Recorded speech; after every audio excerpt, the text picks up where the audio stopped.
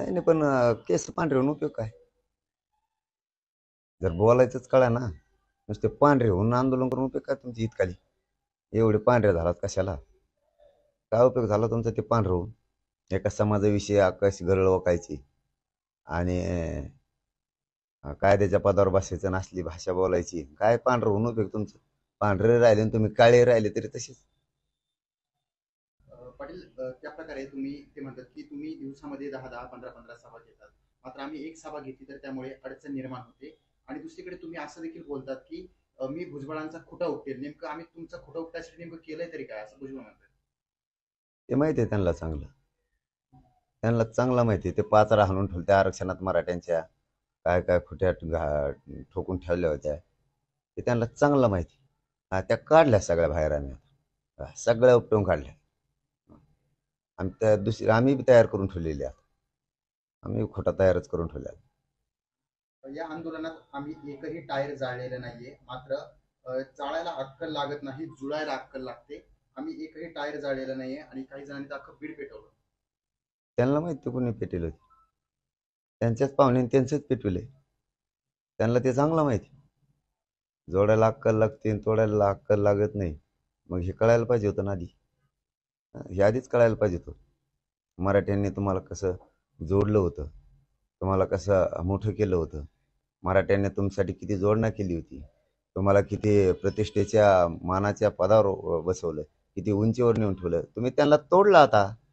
आता तोडायची जोडायची भाषा तुमच्या तोंडात शोभते कुठं? रोहित पवार काही दिवसांपूर्वी या ठिकाणी क्षीरसागरना तुम्हाला भेटण्यासाठी आले होते. हाच तो हॉल होता. मात्र या ठिकाणी घेऊन आल्याच्यानंतर सर बॉम्ब फेकले अर्धा बंगला जळाला पण एक पण त्यात जळाला नाही किंवा यामध्ये कुणालाच काही झालं नाही त्याबद्दल आम्हाला माफ करा. म्हणजे अशी माफी मागायला क्षीरसागर तुमच्यापर्यंत आले होते का? असा प्रश्न उपस्थित करत त्यांनी असं म्हटलं की आपण आपल्यावर झालेल्या अन्यायाविरोधात आवाज उचलायचा असतो की त्यांना जाऊन सरसर म्हणायचं नसतं. नाही आता काय भेटायला येण्याची ती भावना असते ती माणुसकी असते. कोणी कोणाला येणं. त्यांच्यासारखे भावना शून्य झालेले लोक या राज्यात नाही येत ना. कारण महिलांवरती हल्ला झाला एवढा मोठा अंतरवाली नाही येऊ शकले ना? नाही येऊ शकले अश्रू हे बी अश्रू पाहिजे होते ना. तुम्ही तुमचे विचार काय आहेत काय नाहीत माहिती. आणि क्षीरसागर फॅमिलीबद्दल तुम्ही बोलूच नका. तुम्ही किती नाटके आहेत आणि किती स्वार्थी आहेत. इतकं जळायचं त्यांचं ते झालं. आम्ही कधी त्यांचं समर्थन केलं का? जळणाराचं बद्दलचं? केलं का कधी? नाही केलं. तुम्हाला आता पोळका का आला त्यांचा? तुम्हाला सहानुभूती घ्यायची. तुमच्या आरक्षण खायचं ना जास्तीचं त्याच्यासाठी? त्या फॅमिलीची बरोबरी तुम्ही करू शकत नाही क्षीरसागर फॅमिलीची त्यांनी सुरुवातीला सांगितलंय मराठीचे लोक नव्हते. त्यांचा आदर्श घ्या जरा थोडं थोडंफार. नुसते गरळ ओकायचं काम करू नका. परत वय म्हणल्यावर तुम्हाला वाटतं पांढरा झालो का? या असे पांढरे झाले का तुम्ही? बेदरीला जे पकड- बंदी केलेली आहे ती कायदेशीर नाही आणि या- जी बंदी करणाऱ्याला एक महिना शिक्षा होऊ शकते असं जगन भुजबळ म्हणाले. आणि सरकार आणि पोलीस कारवाई करणार. आहे ते सल्ले द्यायची गरज काय त्यांना? गैरवापर करायचा काय पदावर बसलेल्याच? त्याला कायदेशीर पदावर बसले. गैरसमज त्यांना आता गैरवापर करायचा त्याचा. असंच ना. जाती तीळ जास्तीचा निर्माण करायचा आहे. हक्कानं सांगतायत लोक आरक्षण द्या घेऊन या गावात येऊ नका. हक्क काही कळतंय का तुम्हाला? हक्क कशाला म्हणलं जातं? हक्क कसा अधिकारानं हक्क म्हणणं हक्काने एखाद्या माणसाला म्हणतो चल तू आजची आप आज मला. हक्क कळतो का? कशाला पांढरे झाले उगाच उगं डबल काळे व्हा पांढरे राहू नका आता तुम्ही. त्याचा काय उपयोग नाही तुमच्या त्या पांढऱ्या तर ते संदीप अं, संदीप क्षीरसागर आणि अं, रोहित पवार हे तुम्हाला भेटण्यासाठी आले होते का? हो. तेच काय भाजपचे सुद्धा आले होते.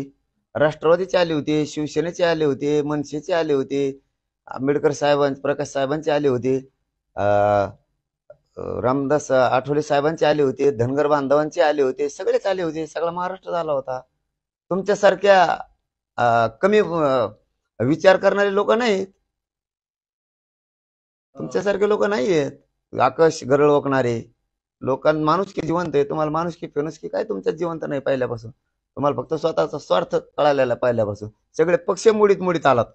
शेवटी स्वतःचा संसार घर सुद्धा मोडलं. तुमच्या हे कोरपाना पाहिजे छगन भुजबळ म्हणतायत माझ्याकडे एक रिपोर्ट आहे. त्या रिपोर्टमध्ये हे सांगितलं गेलेलं आहे की बेदरेला पकडलं बेदरींकडे बंदूक निघाली पिस्तूल निघाली. आणि त्या पिस्तूलच्या ज्या गोळ्या आहेत त्या गोळ्या देखील सापडल्या. मात्र तुम्हाला जे पुंगळ्या सापडल्या होत्या ते रिकामे केसेस सापडले होते ते त्या पिस्तुलातले होते आणि गोळे झाडल्याचे यामुळे ते सिद्ध होत आहे म्हणजे अंतराळी सर्टीमध्ये याच्यासाठी कसं पांढरं झालं म्हणते? याच्यासाठी पांढरं झालं का? धरल्या हल्ला आत्ता झाला का? काल परदेशी?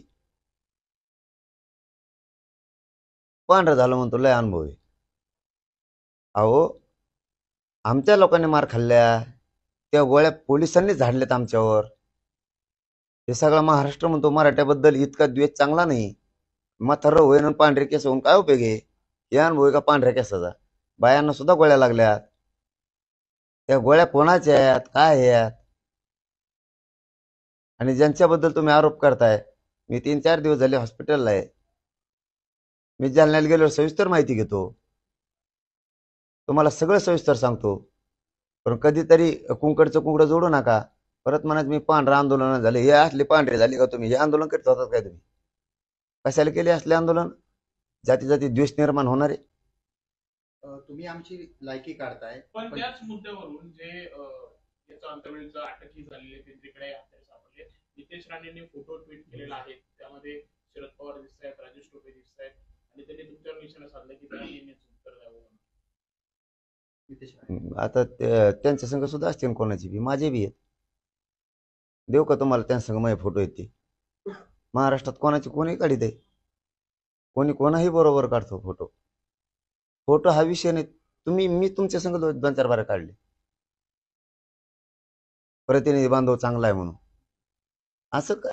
हे बघा पाचवी बोट सारखे आहेत का या देशात राज्यात? वेगळे वेगळे विचार आहेत विचार वेगळे वेगळे व्यक्ती आहेत.